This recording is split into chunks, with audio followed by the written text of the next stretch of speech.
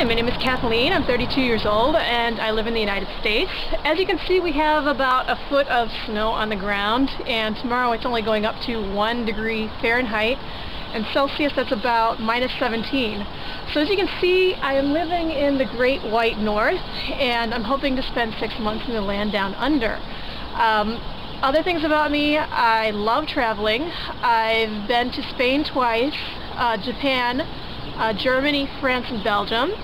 Uh, I also have a blog that I post to regularly, uh, and in 2009 I'm doing a picture a day project. Uh, I post every Sunday night uh, the week's pictures as well as a small des description of them. Um, I love nature, I love animals, and I like to go hiking only when the weather's much warmer. Um, other interests, uh, I like reading, writing, knitting, and I like singing as well. Uh, and I also enjoy teaching. And um, I am, my native language is English, and I speak fluent Spanish, and I know some Japanese. And uh, that's pretty much it. Thank you very much.